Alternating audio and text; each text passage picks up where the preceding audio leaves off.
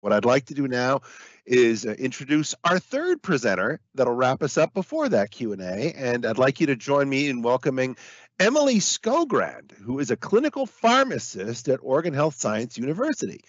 Uh, Emily splits her time between an inpatient internal medicine service and OHSU's addiction consult service, working to optimize the care of SUD patients throughout our community.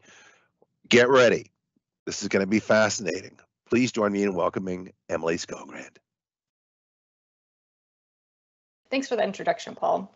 Um, so I'm going to talk to you today a little bit about hospital management of opiate use disorder.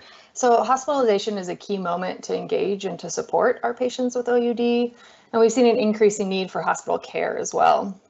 In the US, uh, at least one out of nine hospitalized patients have a substance use disorder, and hospitalization for many in our, in our rural communities are one of the few opportunities they do have to receive treatment. Um, unfortunately, hospitalized patients have a very similar death rate to those who have heart attacks. A recent study done in Oregon found that almost 8% of patients with OUD died within 12 months of being discharged. Um, only about 13, 15% of those were from overdose. So the overdose part of it is really just the tip of the iceberg. They're dying from other things.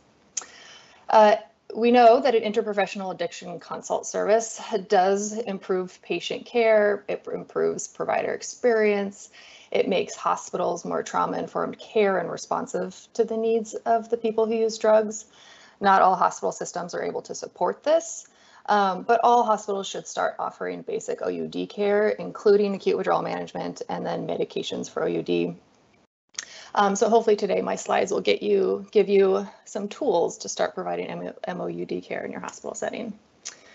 Uh, Dr. Risser uh, hit on the language part of it. I do just want to emphasize a few things as far as drug therapy goes.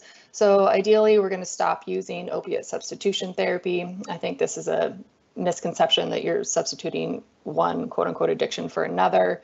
Uh, we also want to stop using MAT or medication assisted treatment. This implies that the medication is just supplemental or temporary. I think MOUD or medication for opiate use disorder um, just aligns better with way other medic medication therapy is understood. You know, we know metformin is critical for diabetes and SSRIs are really great tools for depression. And it just that terminology aligns more with other disease state treatments. Um, scooting along to fentanyl pharmacokinetics. Uh, these two words have been said multiple times throughout this presentation. Um, so when I think of fentanyl, two words that comes to your mind um, should be potent and lipophilic. Potent, we know the potency of it, 30 to 50 times more potent than the heroin we're used to, 80. I've seen reports up to 800 or 1,000 times more potent than the prescription morphine, especially when we're talking about carfentanil. And then it has very high affinity at the mu receptors. And the mu receptors are part of our brain that's responsible for the euphoria, for the analgesia, but then also the respiratory depression um, when opiates are used. Lipophilic is another word. Lipophilic just means that it likes fat. Um, and a lot of what we know from the illicit fentanyl is kind of gathered from what we know of the prescription fentanyl. So fentanyl we think of, I kind of think of as a three compartment model.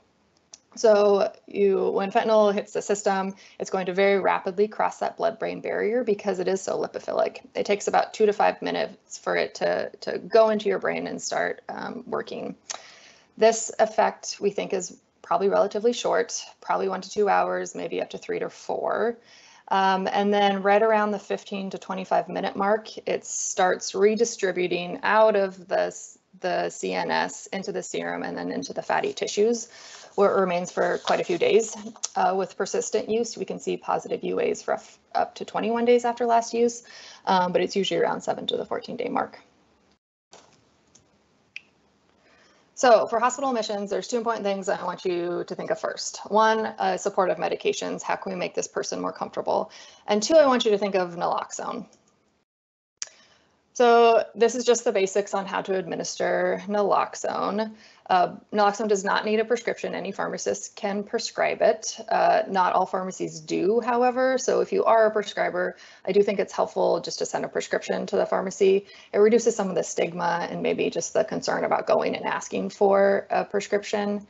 Um, and in exciting news, the FDA is reviewing it this month, um, and hopefully it will be over the counter um, as soon as this summer.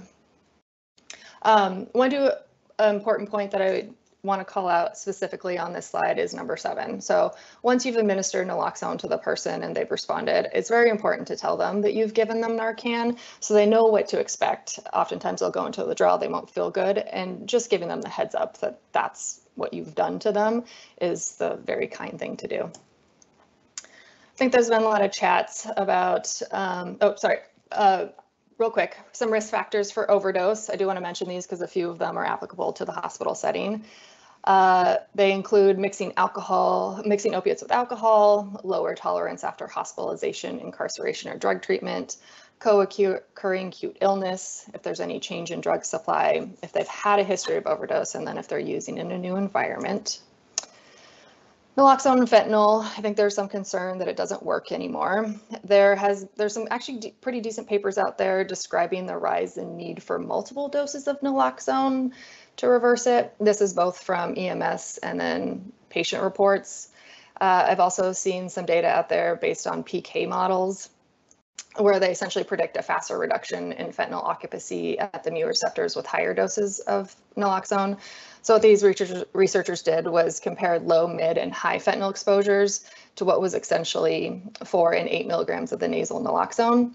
And the model predicted that it would take less than five minutes to reduce fentanyl exposure by 50% um, in the high fentanyl exposure group with eight milligrams, but not with four milligrams.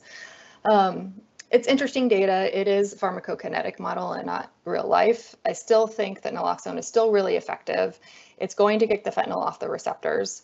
I think it's important to counsel our patients. It's not uncommon to need a second dose, so keep that two pack together. And then it's also important to call 911 in case more naloxone is needed. It is commercially available as four and eight milligrams nasal spray. Both are covered on the CareOregon formulary. A little bit of a word of caution um, with eight milligrams. It's not as common. It may be harder to find in the community pharmacies. So if you have one shot for that person to pick up the naloxone, I'd stick with a four milligrams. I'd hate for that person to present to the pharmacy. The pharmacy says I don't have it, I have to order it in. Um, you know, and the odds of that person coming back in the next few days to pick it up might be lower. So stick with the four milligrams unless you're certain that your your local pharmacy does have that eight milligrams on the shop on the shelf. And then I mentioned naloxone as being one of the first things I want you to think of um, in hospital admission, just to increase the likelihood that the person will leave with a naloxone in hand. You know, patient-directed discharges, um, rush DC plans are not totally uncommon.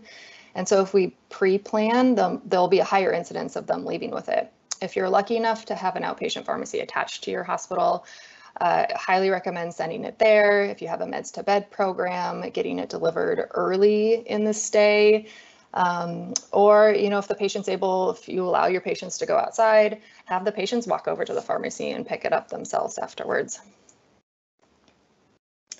Okay, let's talk about acute withdrawal management. Um, the first thing I want you to think of acute withdrawal management is opiates. Opiates are really the mainstay of withdrawal management. Usually, especially in the setting of fentanyl, we're going to rely heavily on our short acting full agonists. So that's like your oxycodone, your hydromorphone, or your morphine. Methadone and buprenorphine are also um, really good options that I'll talk about how to transition onto. And then it's, I think, very important to partner with your patients to determine which is most helpful for them. What's worked in the past for them, what hasn't worked, what traumatizing experience that may they have had that they really just want to avoid. Um, and then supportive medications. Dr. Hartley talked um, significantly about them, so I'll spend, I'll kind of glaze over that. I do want to, however, encourage hospital systems to make them standard. Uh, the more standardized they are, the more familiar they'll be. Uh, the, the more familiar the staff will be with them, which just means it'll be more likely for your patients to be able to receive them. Uh, if you are a health system that uses Epic, they Epic has a med panel order, so it's different than an order set. It's pretty pretty easy. You just type in opioid supportive medication. These six medications come up, and then they're put on the patient's profile. Let's talk a little bit more in depth about methadone. So just some of the the dosing basics. It is a full agonist. Methadone peaks in about four hours. Uh, it's bolded because that will be important for some of our treatment options later on. It has a really long duration of action and it does this really fun thing where it takes a few days to get to steady state. So you see this graph over here, the pink line is the serum levels of methadone. The bottom axis is time in days, and you can see it doesn't quite reach steady state until about three, but really more like four to five days. That makes the titration of it, initial titration of it, of it, especially in the setting of fentanyl, a little bit tricky. There are a lot of drug-drug interactions. It's um, metabolized through 3A4, so make sure you consult your pharmacist. And then there's some controversy over when and what to do with the QTC. Uh, you know, in the hospital, we're lucky enough to have EKGs, you know, relatively easy to obtain one. So I think it's very reasonable to check a baseline QTC. I would use the QTC-F, not the QTC-B. There's a few different formulations out there. If your health system does not automatically calculate the F for you, um, you know, you can find calculators online for them. The F is just more accurate in drug-related QTC prolongation, and the B often very much overestimates it. Uh, I would say usually we'd avoid it if the baseline QTC is greater than 500. And then if it does prolong with dose increases, and it's really a risk versus benefit discussion with a patient. And oftentimes what we'll do, you know, if we jump from 100 to 120 and their QTG, QTC jumps up to 520, we go back to the 100 and then we do a slower dose increase. So maybe we go up to 105 for a few days and 110 for a few days and just make a, a slower dose adjustments. I get this question a lot. Is it legal to start or adjust methadone doses during hospitalization? And the answer is definitely yes. So the federal code um, is fairly wordy, but it does limit methadone treatment for OUD to, li to licensed opiate treatment centers or OTPs.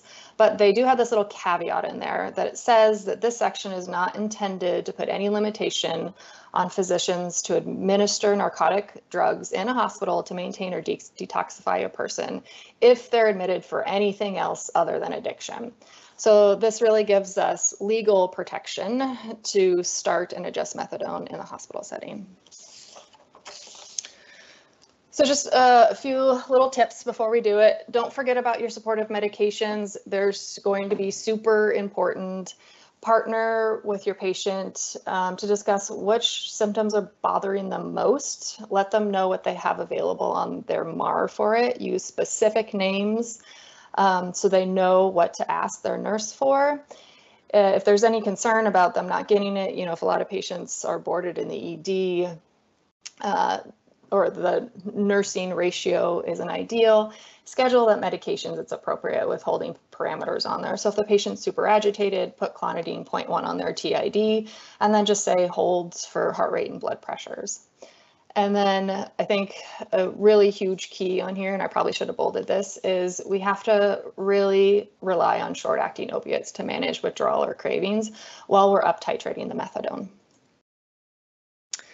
So this right here is an example of a standard induction. I would say this is what we would normally do pre-setting a fentanyl. If you are not a hospital system that is already utilizing methadone starts, I think this is a, a, a very conservative and safe place to start to kind of get your feet wet. Um, and then as you get more comfortable with this, you can increase um, up to uh, maybe a higher dose or faster titration that I'll talk about next. Uh, so high tolerance inductions, and this is what I would use in the setting of, of, fentanyl. So anyone who's using any more than 10 or more pressed fentanyl tablets a day or using any form of powdered fentanyl IV, uh, this is where we know that standard induction that I had on that last screen probably isn't going to cut it. Unfortunately, there's no clear standard. We don't really know how to safely get people up to these effective doses in the time that they need to.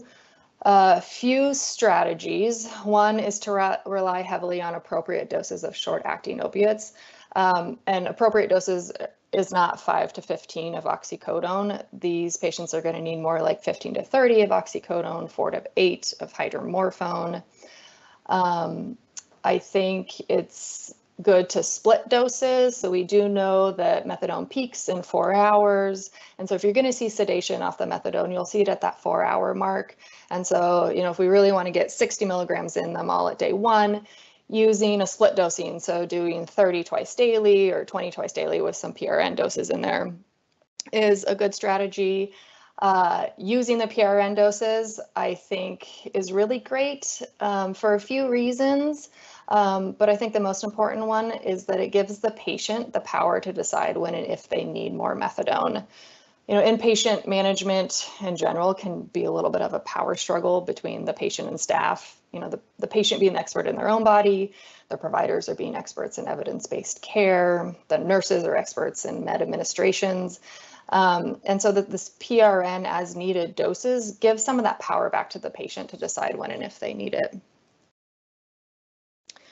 So this is the regimen that's suggested by an author in a really great paper. Um, it's called Adapting Methadone in the Era of Fentanyl, where they call out just the, the inadequacy of what we're doing with methadone doses.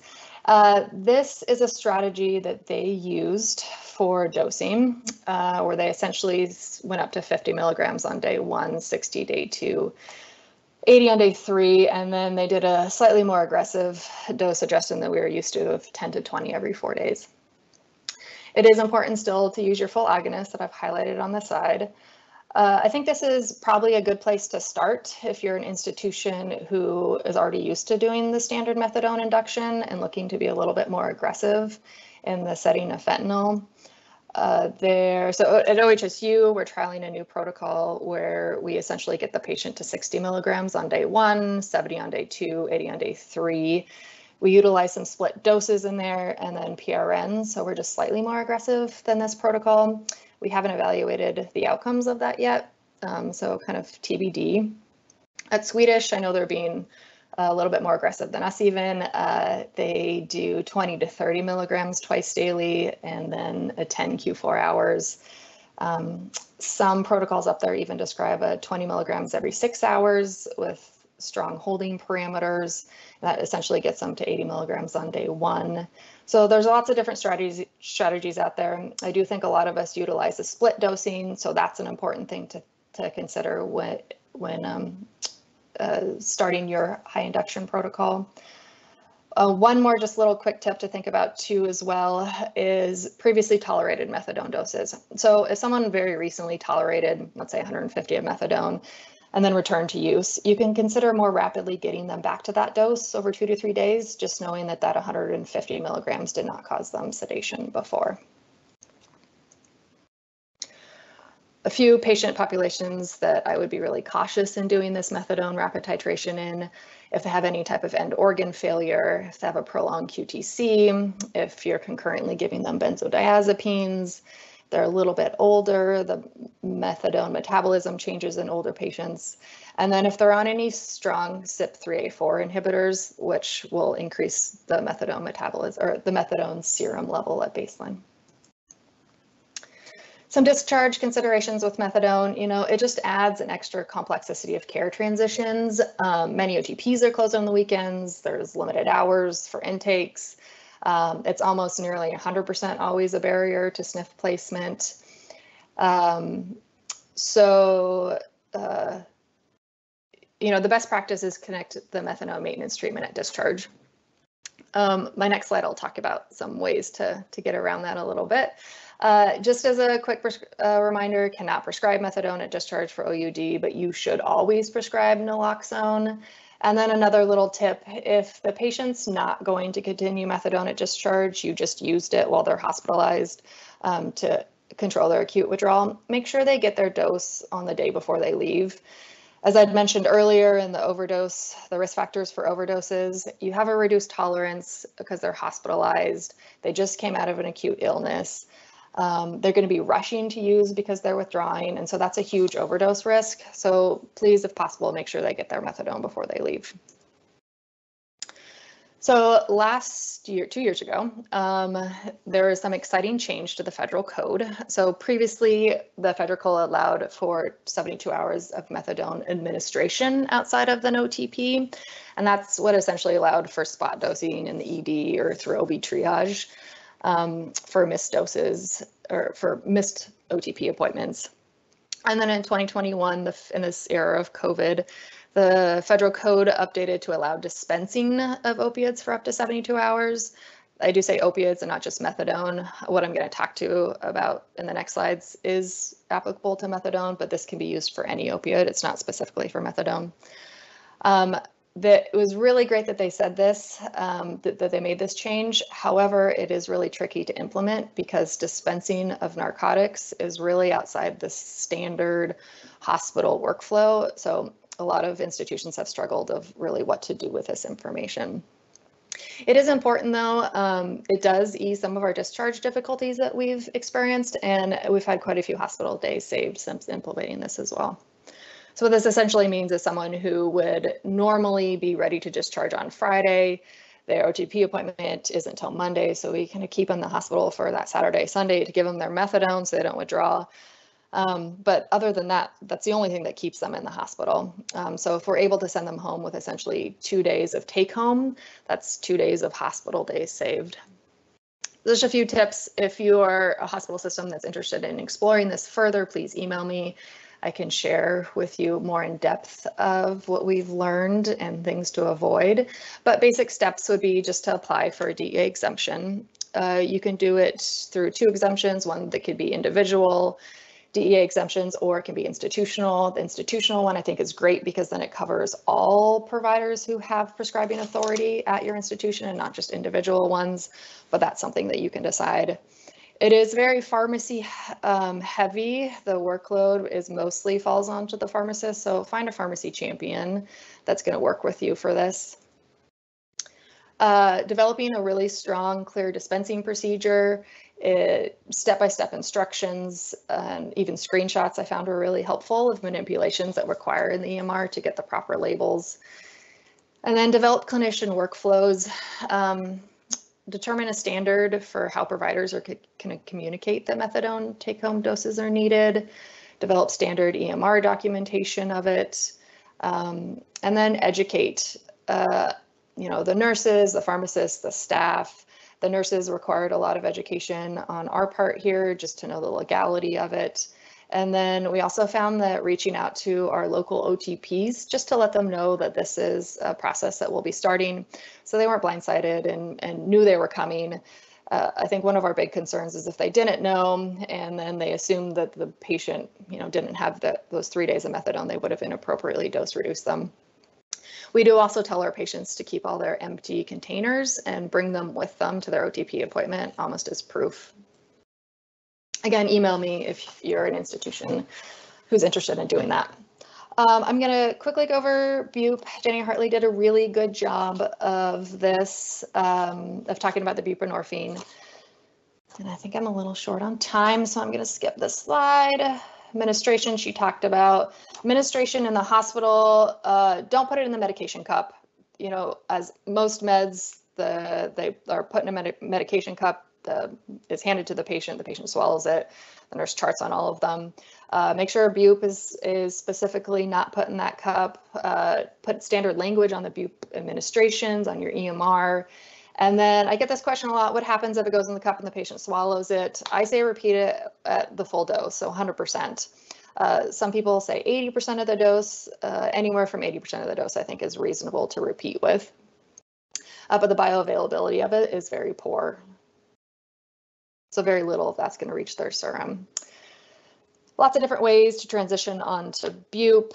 Um, Jenny talked about a lot of these, so I'm really going to pop to our standard low dose induction looks like this. Um, this is pretty conservative, I would say, if you're a health system who's just looking to get their toes wet with this. This is a really good place to start. Unfortunately, it, it takes about six days to get up to a blocking dose. And then I do just want to highlight the, the last column, those full agonists, continuing them is really important. Uh, ideally, that full agonist would be with methadone, but if you're not quite there yet, um, oxycodone or morphine are good options. And then you really want to continue that until you get to a proper blocking dose, and that's usually around 8 to 12 milligrams. After that, the full agonist can be stopped unless they're being needed for acute pain, and then continue on with the, the full agonist for pain. This is our rapid low dose induction that we just started doing. Um, we've had really good success with this. Uh, so we essentially get the patient up to a blocking dose at day four. Um, once they get that nine milligrams, or sorry, the eight milligrams at nine o'clock, uh, you know, eight milligrams of bup on day four really isn't going to hold it for a lot of these patients. And so they do get more doses in the afternoon, anywhere from four to eight milligrams more. So we'll get them up to 16, sometimes 24 milligrams on that day four using other doses. But that eight milligrams is where, where you, the, on day four is where you can feel comfortable stopping the full agonist. This is an example of a low dose induction IV, if that's something that your institution is interested in. Uh, how do I get 0.5 milligrams? So the smallest dose that it comes in is two milligrams. So you really just have to kind of crumble it essentially to get that 0.5 milligram doses. There's stability out there for split films, but not for quartered films. Uh, if your institution is one where that allows nurses to split or quarter tablets on the floor, that's great. If it's if you're restricted to pharmacy, splitting them, uh, you know, quartering of the doses isn't really going to work from a stability standpoint. We chose to add a patch to our formulary to get around that. Belbuca um, is a, another sublingual formulation of bupe. Uh, different bioavailability for sure, and around 225 micrograms of the Belbuca is about 0.6 of Suboxone.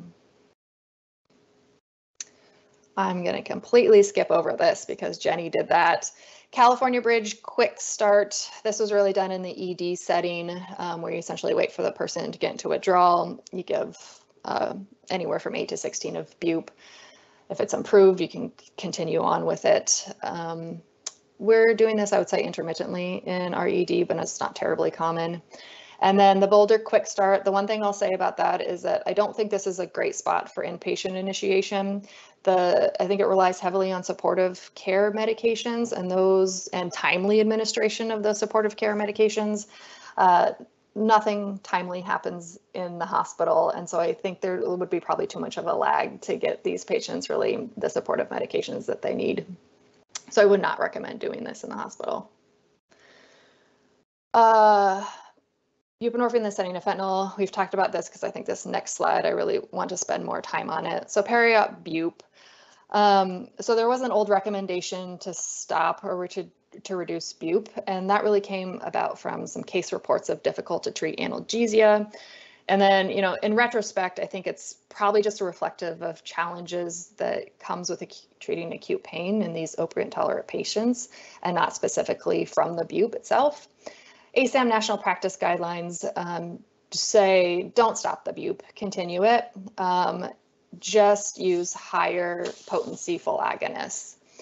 A few strategies to be successful from it. You can split the, the buprenorphine dose up. The analgesic duration is is less than that to prevent withdrawal. So splitting that total daily dose up into two or three times a day is super advantageous. Um, you can also use PRN doses of bup, so two or four milligrams PRN. You could increase their maintenance dose.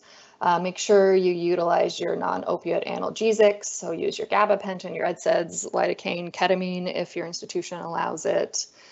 Um, use appropriate doses of agonists. Again, this is not 5 to 15 of oxycodone. Um, if you're comfortable with it, use hydromorphone. I like that a little bit better in this situation. And then just, I know there's no great um, morphine equivalents out there, and we don't normally can consider buprenorphine part of morphine equivalents per day. But if you just think that one milligram of buprenorphine is equal to around 20 milligrams of morphine, if someone's maintained on 16 milligrams of bup and then we stop that for surgery, you're going to have to replace that with a very crazy amount of full agonist in order just to fill up those mu receptors. So that would be over 300 milligrams of morphine if you stop 16 milligrams of bup. And that just sets the patient up for an increased risk of respiratory depression. So just generally stay away from it. I do also think it's important to point out here, this can be a very vulnerable time for patients. Surgery in general is really anxiety provoking. These patients can have extra concern around the stigma from their substance use disorder. They could be scared about receiving inadequate pain relief and then actually might be receiving suboptimal pain regimen. They could experience withdrawal if their bupe is held or reduced and not appropriately replaced with a full agonist. You know, withdrawal on top of acute post-op pain just sounds so traumatizing. So this is a very scary time for patients and taking away a stabilizing therapy like bupe can be very, very detrimental. Discharge considerations for buprenorphine, no more X waiver, that went away, which is super exciting. So now any provider that has Schedule 3 prescribing privileges can do it. It was mentioned earlier, there's no more prior authorization for doses above 24 milligrams on CareOregon patients. Um, oh no. Sorry, my computer's. Can you guys see my auto power off screen? No, we can see the patient case. Okay, great. Sorry. Um, so I just want to run through a patient case of uh, how you can implement some of these strategies. So this is our patient, 34-year-old, presents to the ED. Um, she's here for treatment of abscesses. She endorses using uh, 10 to 15 milligrams of fentanyl a day. Uh, you go to see her, um, you know, you know, asking you're asking not to judge, um, but just want to make sure that she's appropriately treated so she can stay for her IV antibiotics. Um, you talk about withdrawal man or that she is in withdrawal right now. Um, you start to bring up the two options that you could do methadone or buprenorphine. She can't tolerate that conversation. So you say, okay, what I'm going to do now is just I'm going to give you some methadone, uh, help control your, your acute withdrawals, and then I'll come back this afternoon and talk to you about other options. And then just make sure you let her know you have all your supportive care medications on there. It sounds like you're feeling really anxious right now, so I'm going to have your nurse bring you in some um, uh, hydroxyzine as well as some clonidine for your restless. Next slide, please. So you give the patient 30 milligrams of methadone, you come back that afternoon. Um, she says she's feeling a li little bit better, is engaging in conversation, um, says that she wants to go on bupe, she doesn't want to present with OTP every day. And so you say, okay, I think we should do this low dose induction. I'm going to give you some methadone for the next few days. That's going to acutely take care of your withdrawal needs. And then um, uh, we'll get you transitioned over to buprenorphine kind of in the background hopefully that'll prevent prevent some of your precipitated withdrawal. So later on that day, you slap that patch, the buprenorphine 20 microgram patch on there. Day two, you keep marching up on that methadone as needed. So you give her 40 and then she has some PRN doses available to her. You start that bup one milligram sublingual three times a day and then continue that oxycodone for cravings or withdrawal. Next slide, Paul. Uh, day three, you can give her methadone, 50 milligrams with some additional PRNs, gets her up to 70 milligrams potentially on that day. Here's where it gets maybe a little bit tricky um, as far as her experience. She may start feeling a little bit bad around this time. Uh, that's where you really want to rely on the supportive medications, make sure she uses that oxycodone as needed. Um, but essentially, you start that bupe one milligram every three hours as needed for six doses. She tolerates it pretty well, surprisingly. And then this next day on day four, you um, are really going to get to your blocking dose of your buprenorphine. You could give them that methadone, 50 milligrams once if the patient preferred. It's not necessary because you'll end up getting to a full blocking dose of buprenorphine on that day. Uh, but a lot of our patients prefer just to have kind of that security blanket of the methadone given in the morning. But now your patient has officially transitioned onto buprenorphine um, while using methadone to treat their acute withdrawal. Next slide. Um, so in the hospital, if needed to, to use for pain control, you can split that total daily dose up into three times a day. Um, and then when they go home, you can consolidate it to once a day, or if the patient prefers using three times a day, if they found that more helpful, um, that could be continued as well. How am I doing on time, Paul? Do I need to stop?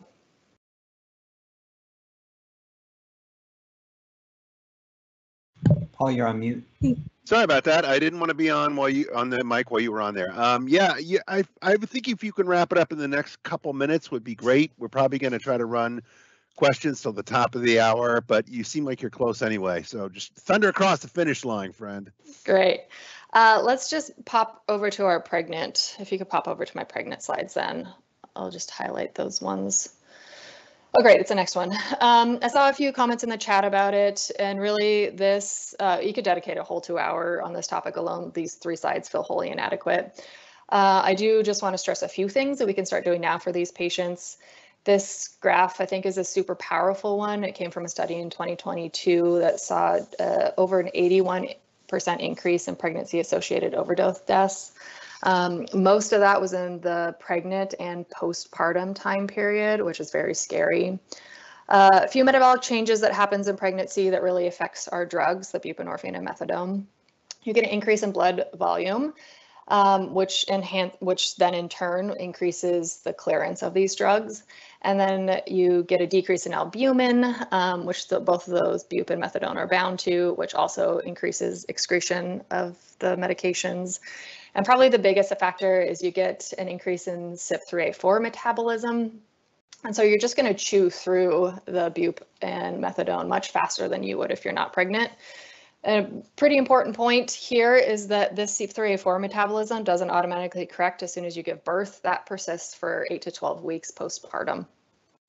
And so uh, automatically reducing our methadone and bup doses is not appropriate anymore. If you go to the next slide. Uh, ACOG has a really good opiate agonist piece out there. It's very inclusive. It's really great if you haven't read it. I encourage you doing that. They have no preference of bup over methadone, whatever the patient prefers. They do say bup or methadone over abstinence. Uh, some few quick things on methadone specifically. We see plasma levels decline as soon as 10 weeks, but the biggest change is really in the third trimester. This is where we really have to split that dose. Single daily doses is oftentimes not appropriate for these people anymore. Um, you really have to titrate their dose up fairly aggressively as well. And then because of that um, continued CYP3A4 hypermetabolism, don't immediately reduce that dose postpartum. Uh, they should be continued on the higher dose and or split dosing for up to, to 12 weeks after delivery. Buprenorphine, same situation, split up that dosing. You can titrate up to 32 milligrams, sometimes even more than that because of the hypermetabolism. The mono product is generally preferred, although either really can be used. There's no contra, you know, true contraindication to using the naloxone in pregnancy.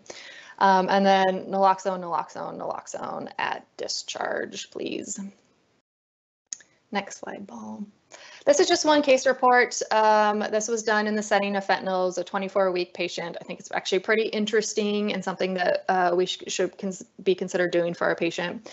Uh, the actual therapy that the patient received is slightly different than this, but this was the table that they said, you know, if we had to do it all over again, this is the, the dosing strategy that they recommend, where they essentially got that patient to 60 milligrams using some split dosing kept it there for three days, 90 for three days, and then this patient eventually discharged on day six at 120 milligrams. So they actually got the patient up pretty quickly um, to an appropriate dose for them.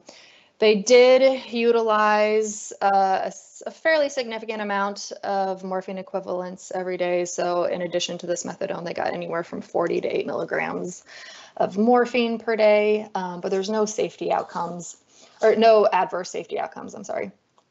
Um, it's very limited data, but it's something to think about for sure.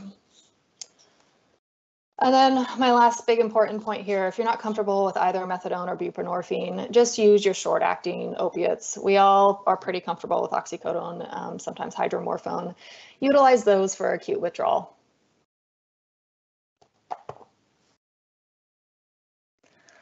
Um, Patient-directed discharge, send the naloxone early, have oral antibiotic treatment options noted in the chart, and then I'll briefly just talk of harm reduction supplies. I wish I had more time for this. Uh, again, this could also be a whole, a whole other lecture.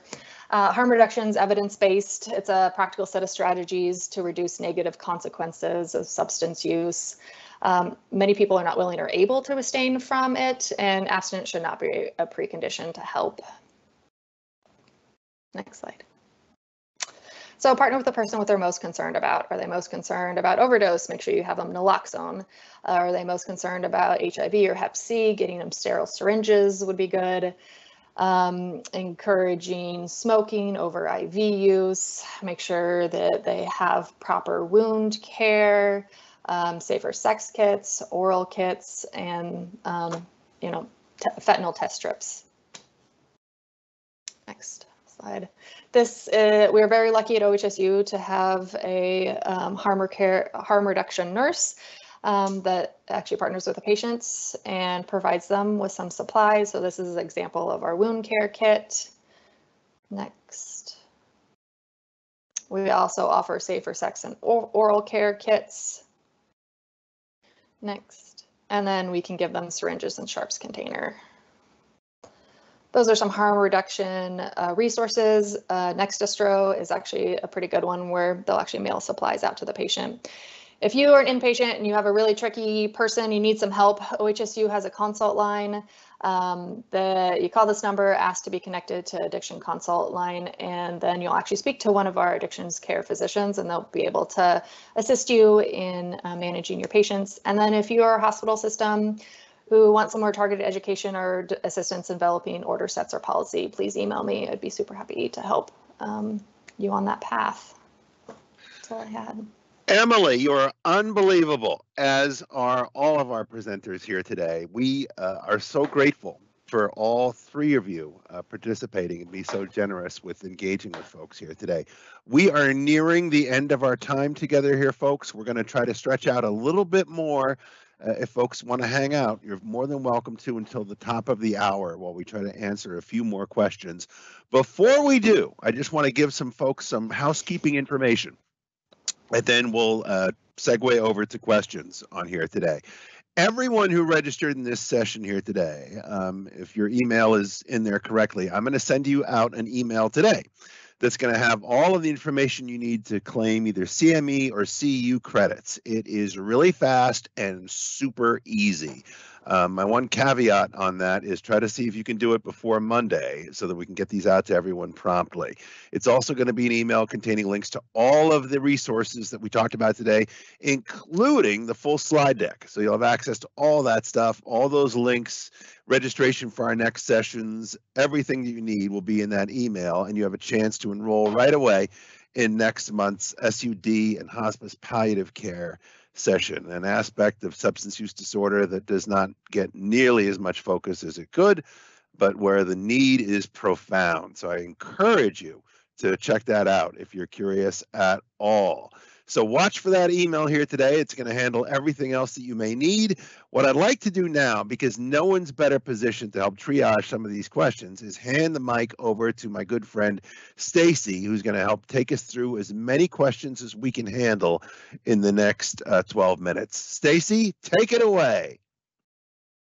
Thanks, Paul, and thank you, Emily, for your presentation. Um, you know, I think what I'd like to do actually first is just thank Amanda and Jenny for answering so many questions in the chat live. Thank you very much. Um, and then ask them, is there anything that you would like to speak to verbally that you already answered in the chat so we can get it on the recording? Did anything feel like you'd like to expand on now? We had some questions about pregnancy. And then Jenny, I don't know if you saw the questions about um, just more specifics around um, adjunct medications. So I'll I'll just see if either of you want to expand on any of your comments first. Hi, I've been eh, really having a blast in the Q and A's. I think I got to most of them. Honestly, it was just really fun, just typing out some um, an answers. Ooh, Maria, um, I'm trying to scroll up to your original question because I I did see it. Um, I think wasn't it about I think Maria Maria question oh, was about um, um, OTPs. I can't search the chat. There's so many things in the chat. Um, but there's a lot of things, a lot of themes kind of being um, talked about in the chat. One of the things that came up over and over and over again is can we use opioid agonists in outpatient settings to support our patients? Um, I would say that there's nobody in Oregon yet that is thinking about using this or is doing this on a broad scale um, or like really any scale that I'm aware of. But I want y'all to be aware that there are individuals that are have been utilized, uh, individual clinics on the East Coast that have been utilizing the 72-hour rule rule to start people on methadone and transition them to an OTP. And also use agonists to cross titrate with um, buprenorphine. I put that abstract in the Q&A. Hopefully y'all have access to that. It's something you can review and think through. We're looking at that as an option for us. We're looking at it primarily at um, Hooper um, although we're thinking about other ways we could apply that. Um, there's some regulatory things to really look through. You've got to have a brave um, and collaborative partner in your compliance slash safety realm if you've got an organization big enough to have that. Um, and there's lots of folks available to get um, get you know resources and information from. I also am hearing a lot of questions about pregnancy. I wanted to make sure y'all were aware that our original thinking about pregnancy and withdrawal, which was based on kind of uh, case reviews, case reports, case series, small case series in the 70s, that withdrawal ends pregnancies, causes miscarriage, causes stillbirth, etc., has really been uh, disproven by a problematic but relatively good study um, from about a decade ago. I put the abstract of that study in the chat. I'd encourage you to look at it. I you know used to practice a lot of obstetrics and haven't really in the last few years but um, what i learned from a couple decades of doing that work is that um, I want to minimize withdrawal for all my patients, especially pregnant patients. There's lots of reasons to make sure that folks are really comfortable with those transitions, but the withdrawal they experience isn't linked with um, pregnancy complications directly. So, um, and it's really important to support them onto a medication um, that treats their opioid use disorder, and sometimes that's just inevitable. Um, what else? Um, Anything else anybody's noticed from the chat that would be especially good to address? Uh, we had lots of questions earlier about quick start and using naloxone. Oh yeah. And they're well, answered, we, I wonder if you want to touch on that. Yeah, I would really make sure um, that um, I would really make sure that you. I put a link in the ch chat to um, um, the quick start method, which would be, you know, what we're talking about in using that language is um, self-administration of Narcan with um, uh, buprenorphine initiation and with adjunctive medication use. It does result in pretty severe withdrawal symptoms, although that varies, but they're short-lived. And it can be a great option for individuals who really feel like that's the right fit for what they need. Um, and it's just another wonderful tool in our toolbox as we address um, buprenorphine transitions in the fentanyl era. They have, they're very generous to have shared their method, their PowerPoint presentation, um, some handouts, some information information and I link to that in the Q&A as well. Um, and Dr. Ryan was actually on this, so um, thanks Dr. Ryan for making sure those um, that information is available to folks. Um, Maria, you were wondering how to help get folks to a comfortable methadone fa dose faster. Really tricky. So Emily presented some amazing techniques for getting folks onto a, um, an acceptable, a comfortable methadone dose faster um, in the hospital setting. Um, I think it can be really tricky. And I know that you primarily work for pregnant um, and early postpartum individuals. Um, and what I know is that when I was doing a lot of maternity care, I was utilizing my triage space a lot for this kind of up titration. Um, I was lucky to be practicing uh, maternity care mostly when in the heroin era, which was a little easier to make these transitions. But I think we just have to be really creative about linking tightly with an OTP, having really um, seamless um, working clinical working relationships with OTPs where you can um, get somebody started on a methadone dose, potentially in an inpatient realm, or with the partnership of an OTP that is willing to kind of work with you and your patient um, to support safe up titration on an outpatient um, setting. I think that really like for us, it's involved like making phone calls, going to Oregon Society of Addiction Medicine networking events and clinical um, communities of practice uh, conversations, um, getting folks in my phone, giving them calls, doing emails, you know, making sure I'm talking to the OTP leadership. And that's what I do in my role as a leader. But a lot of y'all are going to be leaders in your community of practice as well, in your clinics, et cetera. And that's what it that's what it takes. Um, so you know it'll look it's pretty labor intensive but that's part of what is all you know addiction medicine is all about. It's it's a it's a realm that requires a lot of really like high level complex care coordination. Um and and maria I'd, I'd be very happy to talk to you more about this. I can give you some specific examples of things that we've found to be really helpful and successful. Thanks, Amanda. yeah what else one- Yeah, I see one question that I, I'm I'm gonna guess we'd want to expand on. It's around the um, the role of urine drug testing Oh, in yeah. UAs, and the Mhm. specific question was around uh, fentanyl. Um, it's not it's not screening for fentanyl, so just Mhm. I'll hand that over to you to answer. Yeah. Well, Jenny and I have been on a bit of a journey here with this, right? So I would have to say that in my day-to-day clinical practice, I make all of my decisions about uh, medication management based on patient history. I may send out some confirmations from time to time if my clinical history doesn't jive, you know, doesn't match with what um, what I'm seeing um, in a and, and you know I, I work in some settings where we really do rely on drug screening for other purposes you know for kind of monitoring of success in treatment and that kind of stuff along with other clinical data.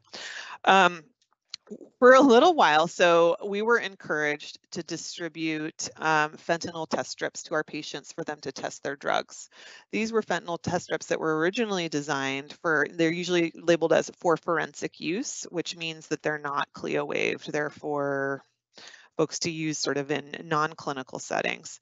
Um, and we decided that we would do a workaround where we would hand these test strips to patients and um, we would have them self-test their urine and self-report the result. And that way we would know on admission to Hooper what was going on with them.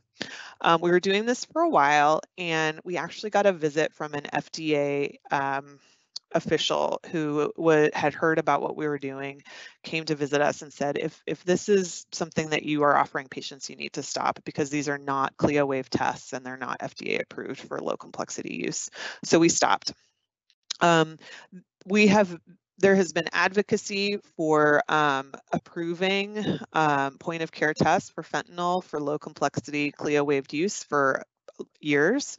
Um, I'm not aware of any movement on that realm and so we just got to do our best.